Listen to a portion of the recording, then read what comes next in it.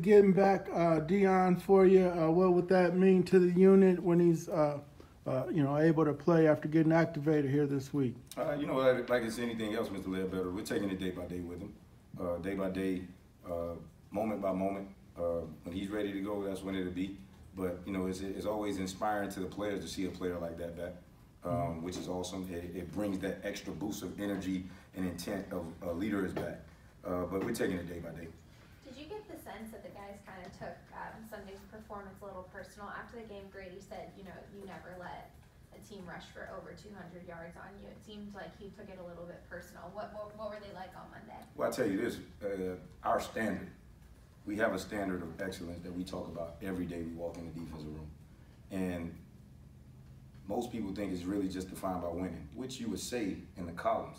But if we live to our standard of excellence, you will always win. So he definitely hit that right on the head. Our standard of understanding that no one runs up and down the field on us. That's just not how we play. Now one man lies down and watch another guy make a tackle. That's not how we play. We never let the ball go over our head. That's just not what we do.